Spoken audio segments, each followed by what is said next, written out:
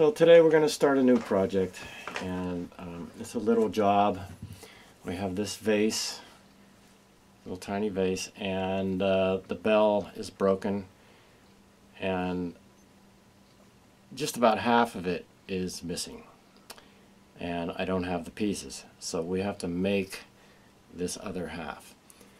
Now as you can see I have roughly half of it and from that I will make a mold. And the reason is is it's just too much. If it was just a little pie shape I'd probably fill it in and and I'd have it maybe enough there that I could blend that in with the surrounding contours. But when I have half of it missing I want to have this bell be perfect.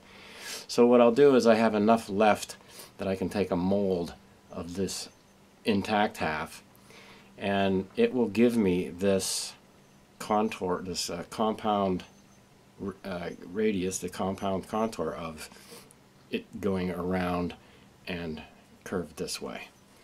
And also I have it thinner at the edges and thicker at the base and I want to make this piece. So what I'm going to do is make a mold of this and from that mold we can fill that with uh, uh, an epoxy that I will build this other half of the bell out of. So I'm going to make a mold and put it on here. Okay, we're back and I have my mold made. It's on here. This is a, a quick mold material where you just mix the two halves together and knead it together with your hands and uh, and press it on here and it is thick enough and stiff enough that I can use this to make to fill with my epoxy putty and it should give me the shape I need. I'll probably be a little bit more than I need hopefully and then I'll trim that down to fit. So that's what we do next. We put the putty in here and uh, that'll take overnight to cure. So we'll be, we'll be back when we've uh, accomplished that. Alright, so we've got our mold made and it's cured. I had to give it a couple of days for it to degas so that the um, the mold as it cures has gas emanating from it and if you don't let that uh, air out first you're going to get bubbles in your mold in your casting so so I have a epoxy fill epoxy putty fill and I'm just going to cram it into this mold. It's thick stuff. I gotta cram it in there.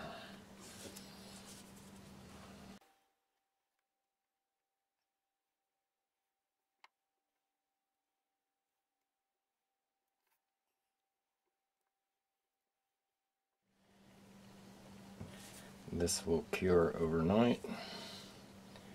We'll take it out of the mold in the morning. And then there will be probably some minor fills or something I have to do to it at that point. If we're real lucky, we don't have to do anything except trim it to fit.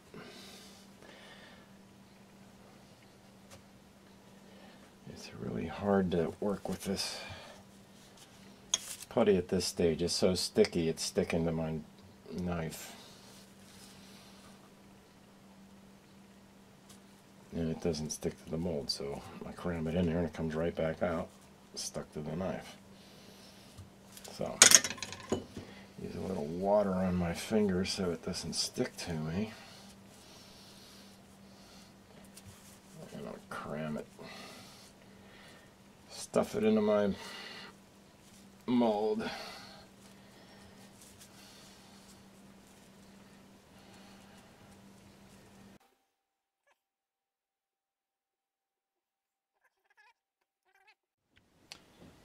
Okay, so now we got their uh, our cast is made in our mold, and I'm gonna take it out of here.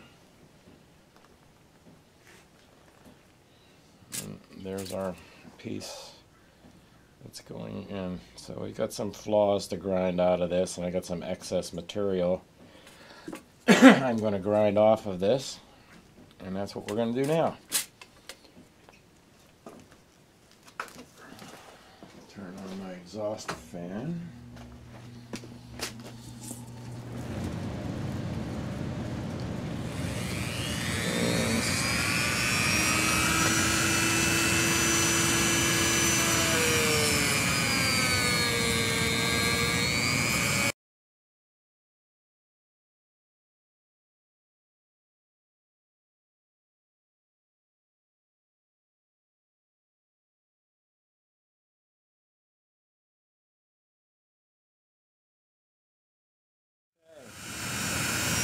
So that's our rough grind. We'll do a little more fine working on this and uh, then we'll start to fit it in. Alright, now I've got my casting shaped now to fit onto the top of my vase. It's very close. So what I'm going to do is I've traced the outline of this bell on this piece of cardboard and I'm going to to keep this in alignment when I cement it together I'm just going to tack it in place for now but um, I will tape this cardboard to the piece keep everything in alignment while the epoxy cures so what I'm going to do is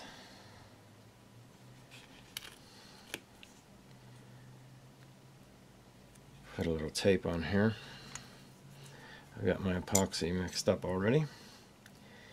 And I just want to have a bit of this epoxy.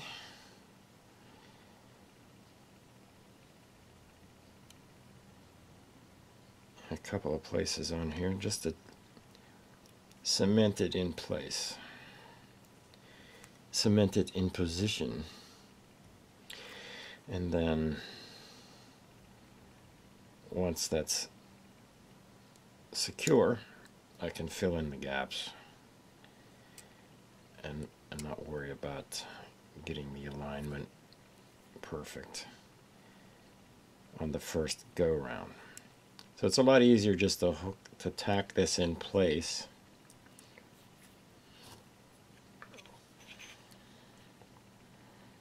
than it is to try to glue the entire thing in one go.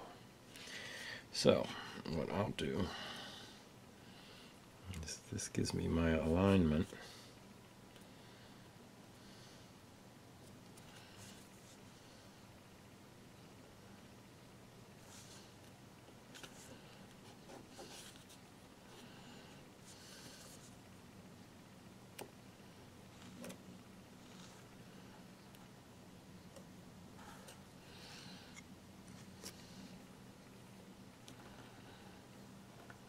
basically tack welding it in place.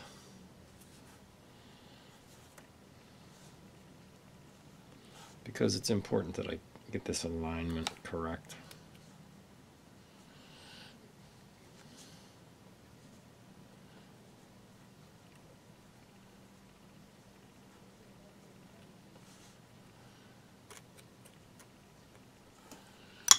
Now,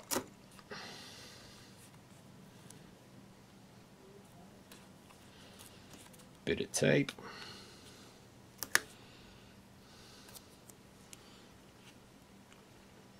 Bit of tape.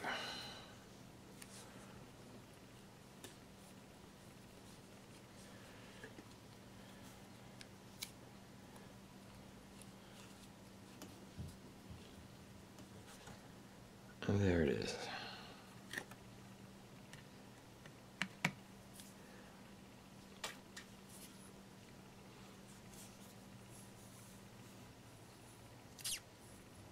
That'll keep it nice and flat and level. And I will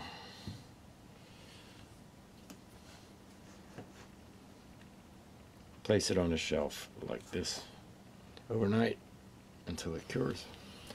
Okay, and now it's the next day. This is set overnight, and I'm going to take the tape off.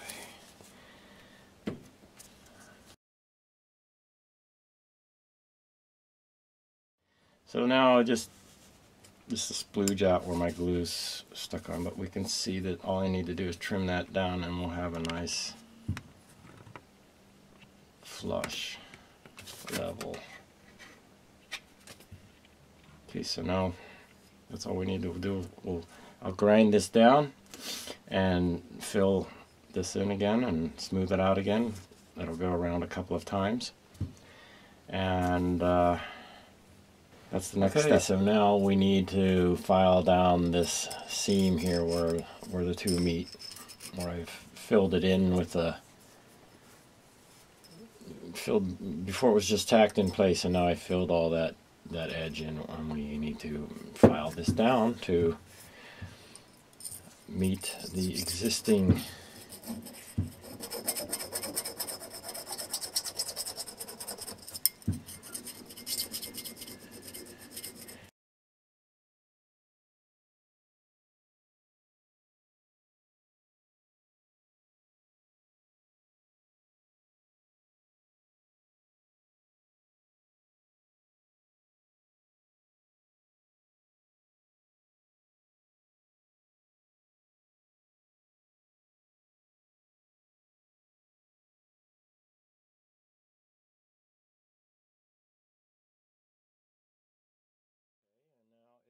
the next day and I have put in a finer fill this white epoxy and it's a little softer than this super hard stuff here where I got my my bell shape. And now I'm filling in the minor imperfections in that and basically on the joint.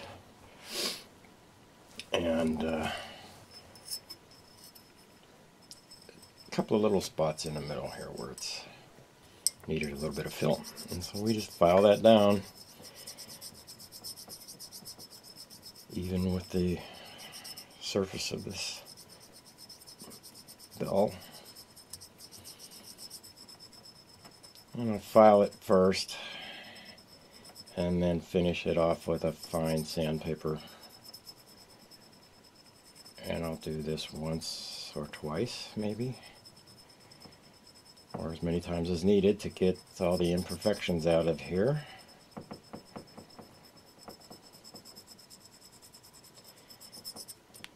It's a very fine, whoops, very fine file.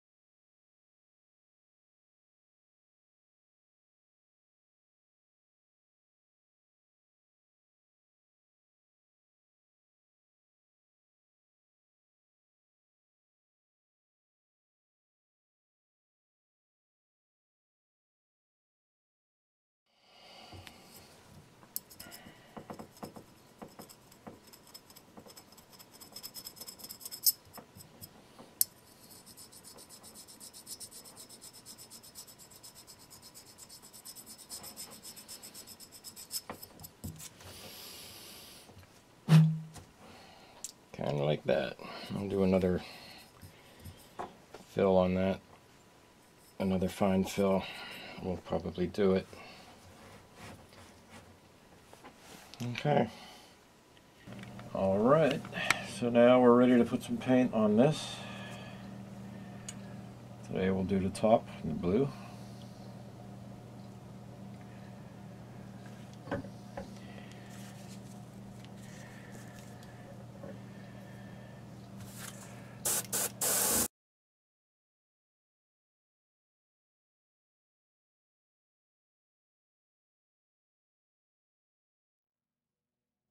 So yesterday we did the blue on the top, now we're going to do the black underneath.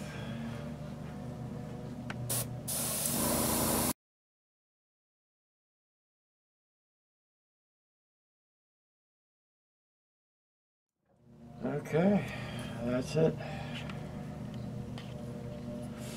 Put a glaze on that and protect it.